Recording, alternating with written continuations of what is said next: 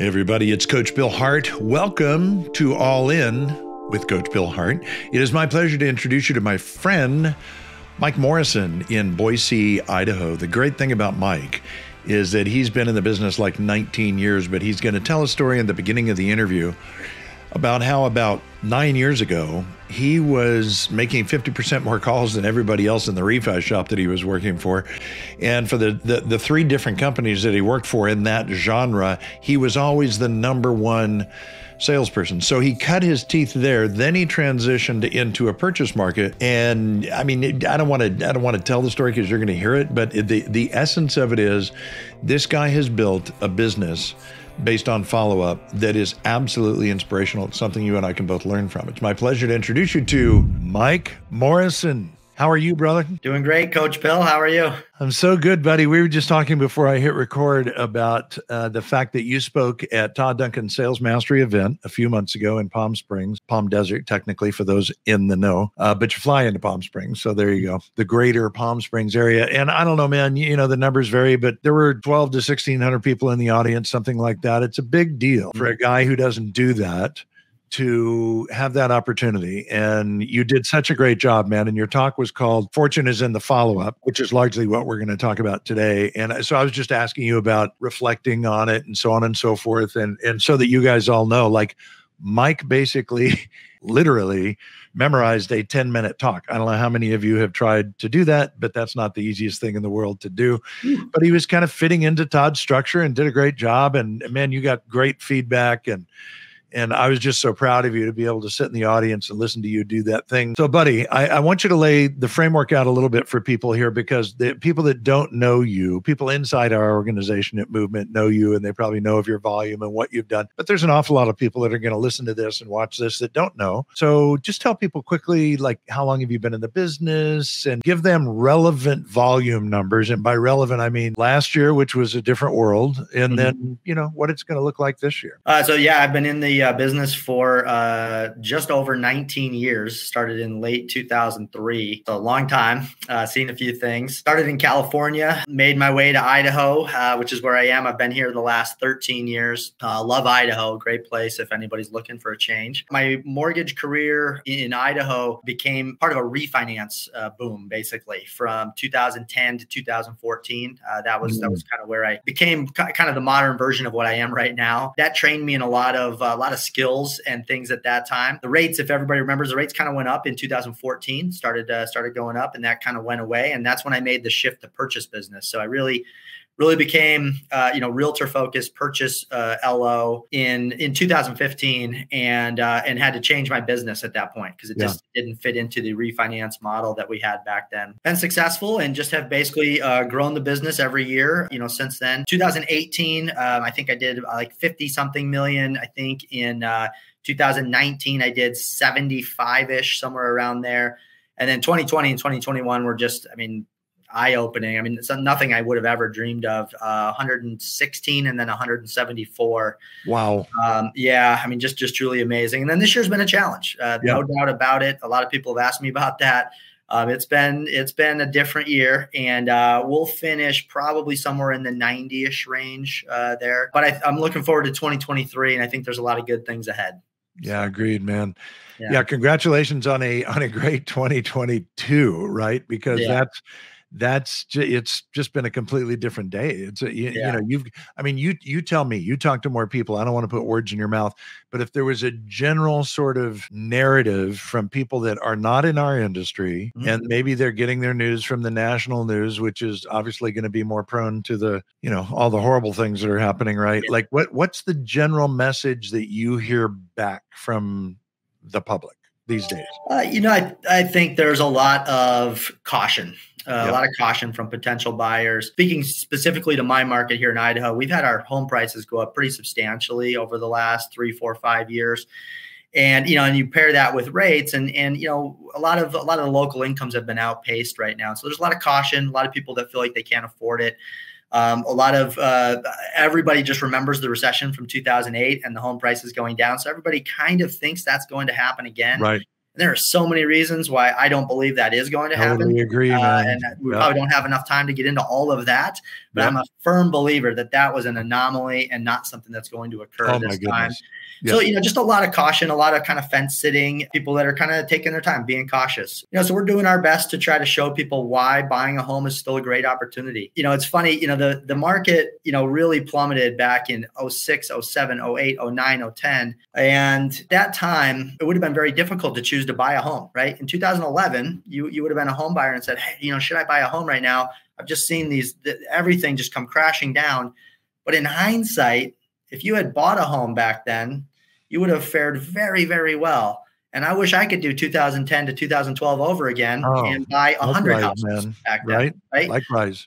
But while you're in that moment, it's very hard to see that, right? It Hindsight is. is 2020, as we say. Yeah. And I think that's I think that's what homeowners need to know right now, right? Is is it looks challenging right now, but if you find the home, if you find a great place for your for you and your family, home ownership is just far it's infinitely better than renting. Oh yeah yeah. Just infinitely better than renting. And no so sometimes it just takes yeah you just have the got to have the courage to pull the trigger. That's right. Well and and you know for this audience primarily loan officers there's a few yeah. realtors that pay attention to it as well. But it's it's about what you just said and then it's one level level back which is our responsibility i believe to educate right? Mm-hmm. we need mm-hmm. to educate the public because truly if you just listen to the national news it's just going to tell you that it's a glimpse of a moving train, but it's not the whole big picture, right? If you yeah. pan back and look at the big picture, it's like, oh, okay. Yeah. I see where we are right now. And as you pointed out, the contrarians in investing in general are the ones that always say, you know, lean in when others are running away. So anyway, with all that said, you you've really built something special, bud. And I really don't recall this, so I'm going to ask this question without yeah. knowing the answer but your database i know we've had this mm-hmm. conversation before and you may not know the exact number but but maybe you do these days i don't know man. How many people are in your database? In terms of like past clients that i've helped? Well not just past clients but any just anybody yeah that's in your database. Those could be realtors or prospects or tbds pre-quals that move forward. I do need to get a new accounting of that but it's it's got to be five to ten thousand if you yeah. take the entire uh, you know leads past clients agents it's yep. it's multiple thousands yeah. so the reason that i ask that is because i know what a great job you do with follow-up so the you know that's kind of where we're heading thematically right in, in terms of mm-hmm. our conversation but i think i've said to you before mike you know if you and i were in a room with a hundred loan originators just average loan originators mm-hmm. and i asked them how many people are in your database the vast majority of them will tell me two to 300. That's what I hear most often. And it's usually because those are, it's what you just did initially. You said, Do you mean past borrowers? Because that's where our mind goes, right? Mm-hmm. Like my database of past borrowers. But when you say five to 10,000, that's what I hear from top producers uh, everywhere is they, they've got these massive numbers and it's because they never let go of anybody. So at mm-hmm. some point, I don't know if it was when you were in the refi focus or it was when you just transitioned out of that. But at what point did you realize, mm, yeah, don't want to let go of these contacts because I want to be able to feed and water these relationships, right? Yeah. Yeah, you know, it was in that refi time frame. And that's kind of why I like to mention that. Um, you know, it was just it was where I I learned the business prior in uh, in California in the in the previous boom before the meltdown. But when I came to Idaho and started in the refinance world, you know, there was a couple of things that made you successful there. One is uh, these were companies that, you know, essentially advertised out and the phone would ring. And right. so one of the first things that made you successful was just trying to answer the phone before anybody else. It was literally just grab the phone as quickly as you can. And now you, now you have an opportunity. And so I would uh, definitely put my effort into that. I would put in longer hours and uh, I would be ready. I would be ready to go. Uh, but the second thing uh, that I think really helped me stand out at that point was uh, that I didn't just take a call and sort of accept the first conversation or the first answer that I got. I went after people. I did not give up, right? If they, if they had an objection, I continued to follow up. I just like a bulldog. I mean, I just went after it, and went after it, went after it. And I just learned that um, you know that you don't always get the answer that you want in the first call or two. It just mm. it just isn't what happens. And so there was just a tremendous benefit for me to just stay after it. And, and rather than sit around and check Facebook or look at my phone or have a conversation by the water cooler or have a long lunch, I just kept calling. Uh, I just kept calling, and and so you know during that time frame, 2010 to 2014, I probably worked for I would say maybe three different companies. A couple, you know, it was kind of a these companies were kind of fly by night. Uh, and oh, uh, I remember them well. yeah, and so what I was proud of is that at, at, every one of those companies, I eventually rose to the number one salesperson at each right one. On. You know, I didn't really recognize it in the moment. Uh, you know, there wasn't anything that stood out to me as to why this was happening. But I remember at one point, one of the managers came out, and I, I didn't even know he could do this, but he had some phone metrics uh, that he could he could kind of check the whole offices, how, how we dialed, what we were doing during yeah. the day and he could listen in on calls and things like that. But at one point, it was after a couple of years, right? And I was I was doing well and kind of outpacing a lot of the other salespeople. He came out and he kind of brought everybody together, and he was a little he was kind of angry uh, at the at that point, and uh, he brought out some stats, and it and it turned out that I was just essentially making like fifty percent more calls than anybody in the office. Wow. I mean, and that's all it was. So I'd love to tell you that I'm good at this, that I'm skilled, that I'm a people person, and that I'm a smooth talker. I'd love to say all that, but no, it's just simply that I outworked people. I want your last words to just sink in with people that, you know, I wasn't the smoothest talker. It wasn't all about that. It was about just being willing to outwork people.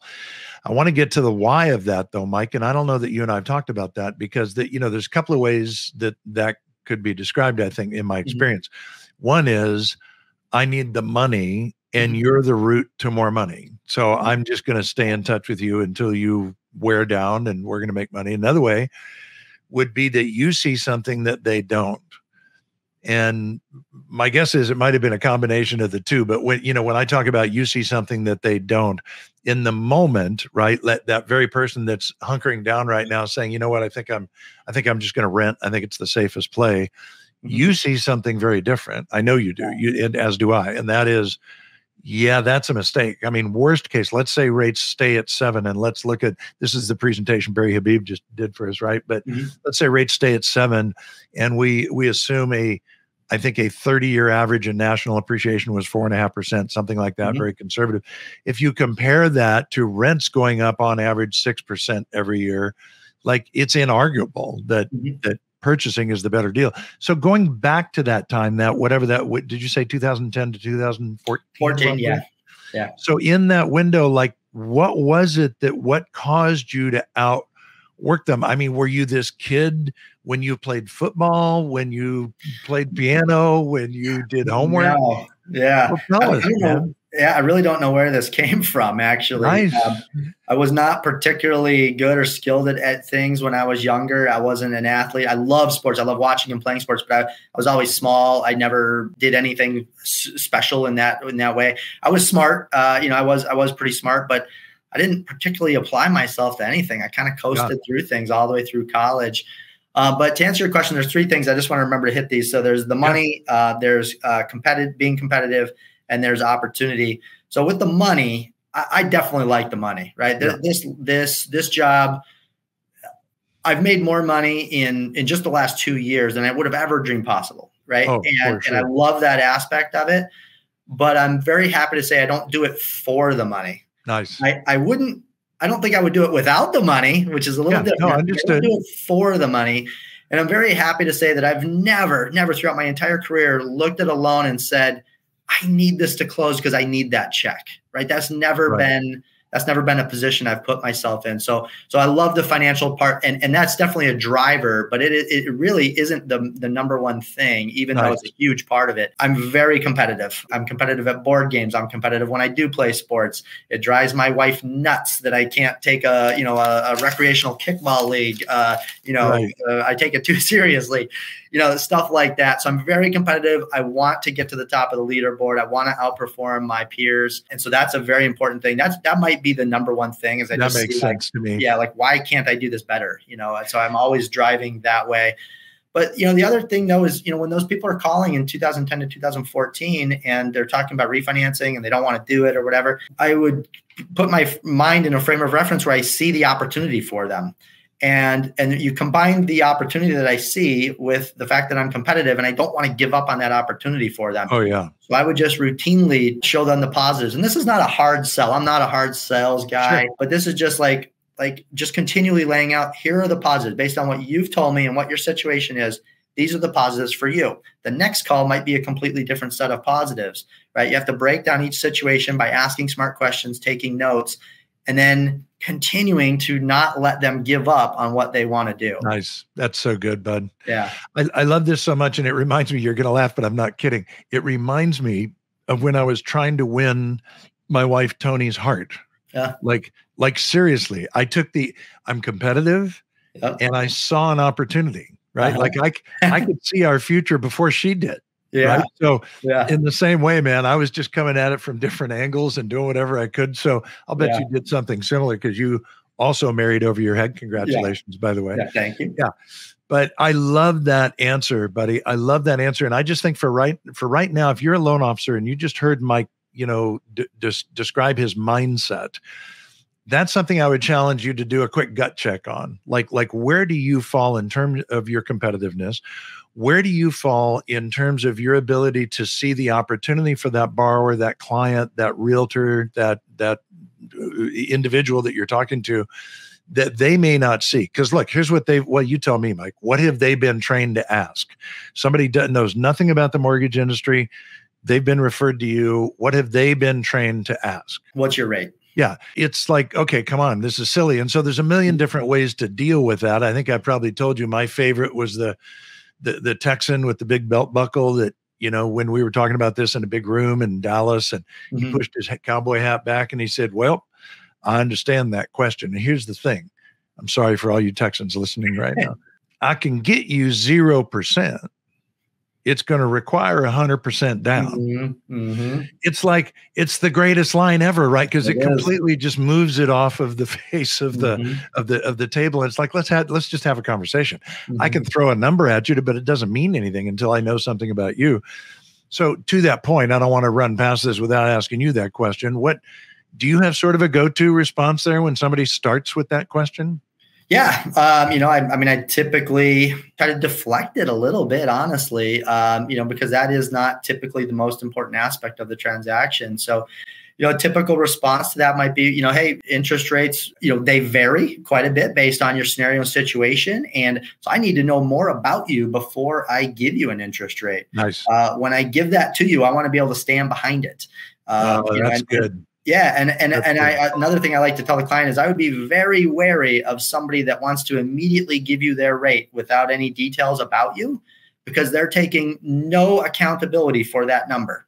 So None, no accountability, right? They're not standing behind it at all, right? They could tell you right now if they said, "Hey, your rate's going to be five percent." Well, that sounds fantastic, but what are they basing that on right you know so yeah. and if somebody wants to give you that number that quickly that's their that's their only thing and then they're going to change that and they're going to have a list of reasons why it doesn't apply anymore yeah so good man yeah and you've probably got you know hundreds of stories of people that chased that and then mm-hmm. came back to you later because either the Absolutely. rate was higher or they had to bring more to the closing table or Absolutely. whatever right yeah yeah all right, buddy, let's get to the follow-up side because this this is the thing that you spoke about in front of, you know, a thousand loan officers. And dude, I was watching them leaning forward, making notes. I don't know if you could tell because the lights are in your face, yeah. but like they were making notes. So it was pretty cool. Todd standing next to you, Linda Davidson on the other side.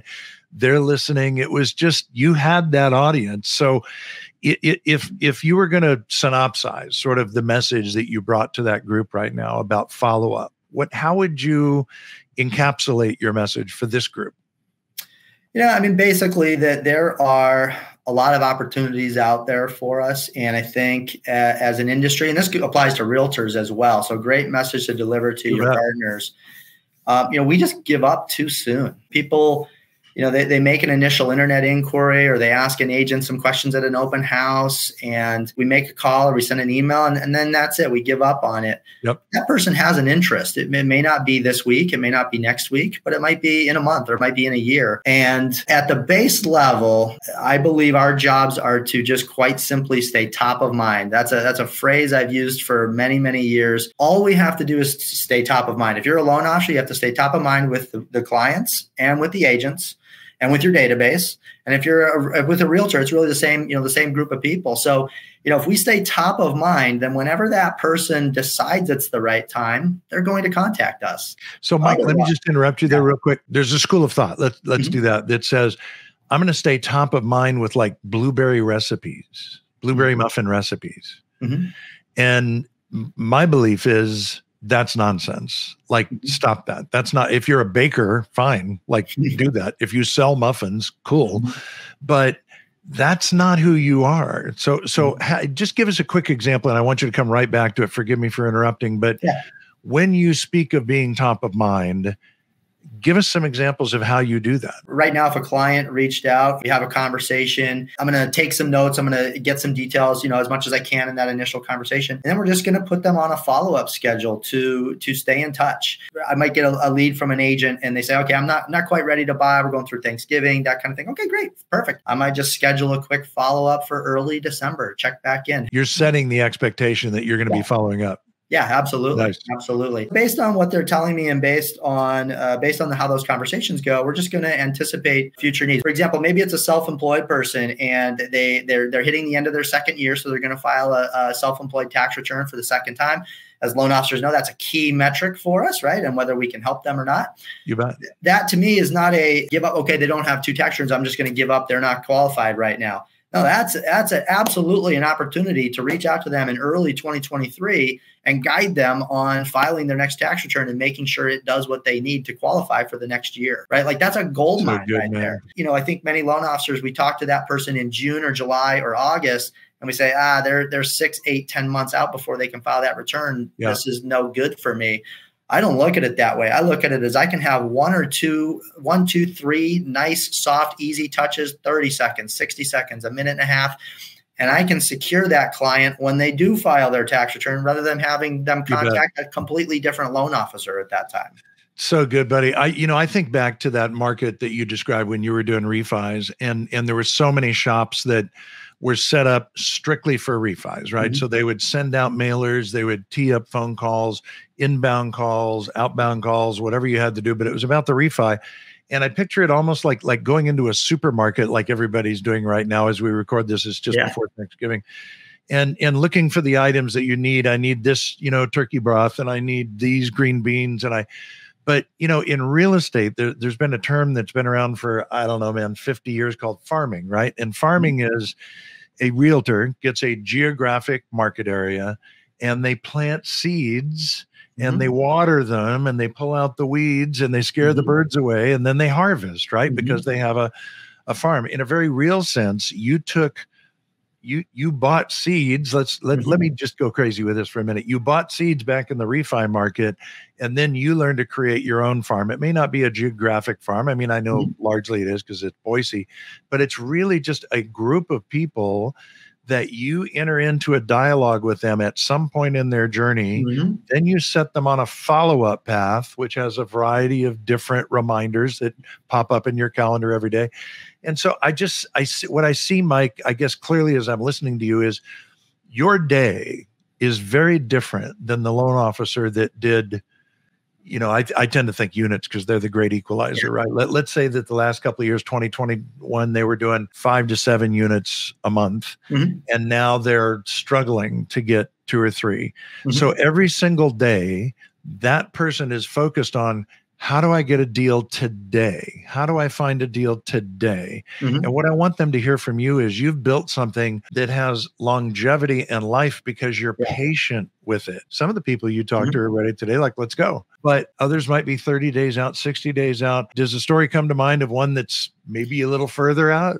Yeah, absolutely. Actually, I had somebody text me today. They were a client I was introduced by an agent back in probably March timeframe. So reached out, followed up. The realtor was actually selling the house they were renting, so they needed to go somewhere. Yep. And I followed up, and they were a difficult, challenging one to get a hold of, quite honestly. We proceeded, but it took many, many months to get there. And long story short, they were sort of qualified, not not fully qualified, and they decided to move to South Carolina. So they moved from Idaho to South Carolina, and that was probably after four or five months. So that's a perfect time to probably give up on them, right? I'm not licensed in South Carolina. Absolutely. They're out of my market. Um, but we didn't. I stayed in touch. And uh, part of that was with an automated uh, campaign. I have a great CRM. I recommend everybody do that. Nice. Right? There was some automation involved there, but essentially we, we didn't give up. There was no reason to give up. I just got a text this morning that they're coming back to Idaho probably this April. Oh my good. So they had moved to South yeah. Carolina and were renting, and now they're moving back to Idaho to buy. Yeah. And that's eight months later with yeah. a state between you. Holy yeah. cow. And so the way that I look at that, if if me following up and staying in touch with them in a very friendly way, like how's it going in South Carolina? What can we help with? Any questions on the market? Automated, right? A lot of automated things. If it oh, doesn't oh, take a lot of my time or, or energy, then why would I ever let that person out of my database? Absolutely. There just isn't a reason. You know, I love it when a realtor calls me and says, Hey, I've got a client. They need to get pre-qual today. They're going to be serious. We're going to make an offer today, tomorrow. That's fantastic. I love that client. Everybody does. But I need clients in March and in June and next November also. Absolutely. And if I water those seeds, as you mentioned now, those clients that are not ready now become those immediate clients right. in those future months. Yeah. Then I don't have to look for them later, right? They're already right. there. I've already built the rapport. They trust me. They know me. It just becomes so easy. It's just so much. It's so much easier to nurture somebody you're already in touch with than it is to find a new person. Yeah, it's funny. There's a guy that I interviewed down here in uh, Westlake Village, where I live in Southern California, years ago. I've known him forever. He, we we've known of each other. He was in the Masters Coach program for a while with Building Champions. And I remember interviewing him, and it was it was a similar market to what we're in right now. He had reached out to me and wanted me to do a realtor event for him for his for his local realtors but the market shifted right? And and suddenly it was a refi market. And when i called back he said oh yeah forget that. Like right now i just my phone's blowing up. And and i so i said well tell me more. Like let you know let's do an interview. I want to hear more about your story. Well he's got you know like you probably 10,000 people in his database and his point was why would I go out and try and sell somebody new when I've got mm-hmm. people that are already sold on me? Like mm-hmm. they already know me, they already trust me. Yeah. So there's that guy. Then there's the guy, Lenny, that sold me insurance years ago because I responded to something. I'll bet this was 15 years ago. I clicked on something, you know, that I shouldn't have, right? Mm-hmm. and it led me into him. And he was selling some kind of disability policy back in the day. And I wasn't thinking about it. I was young and healthy and who really cared, right? But at some point, like he just never let go, man. He never mm-hmm. let go. And I finally bought a disability policy from him yeah. because we had never met, we had never spoken, but he was mm-hmm. following up professionally via email to your point just like you do.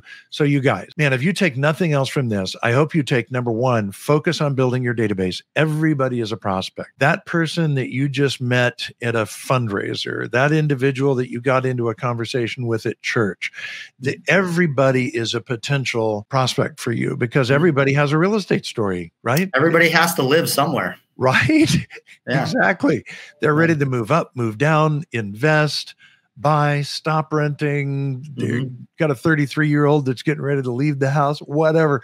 There's yeah. something going on in their story. And if you can just engage with that story and forget about the single mindedness of, are you ready to purchase a home today? If you yeah. forget that and just create relationships and do what Mike has done by creating a system that allows you to follow up over time and an extended time, you'll be building a farm that will yeah. feed you and your family forever. Uh, uh otherwise, yeah. you're just pulling stuff off the shelf at 7 Eleven and that's only going to last for so long. You mentioned one of the most important aspects of my follow up process, and that's that it's not about what you want or need as the loan officer. That's not what it is, right? It's about what they need or want. Yeah, man. Help them get what they need or want. You will get what you Come need. on. Come on, preach. Yeah, Little Zig Ziglar going there, man. It can't be a like a who do you know that wants to buy or sell real estate? It that's can't right. be that. That's not helping them. That's helping you. Just follow up in a very friendly way. I know a lot of people have the you know the drunk monkey saying I can't make this call. I can't. I cannot do it. I'm bugging them. I'm interrupting their day if you do it in a helpful professional Absolutely. way just you know and, and that's where the notes previous notes are so important to know what their what their objections were what their life was about what right. their goals were because then you can continue to offer guidance and advice right now there's a lot of questions about rates and the market and the economy those are perfect things to follow up on like hey did you hear about the rate decrease? Uh, are you concerned with what the Federal Reserve is doing? You know, whatever the question might be, it becomes about them and, and serving their needs and their curiosities. Absolutely. And then you're you're not a hard salesperson. You're not That's a pushy right. salesperson. You're just helping them.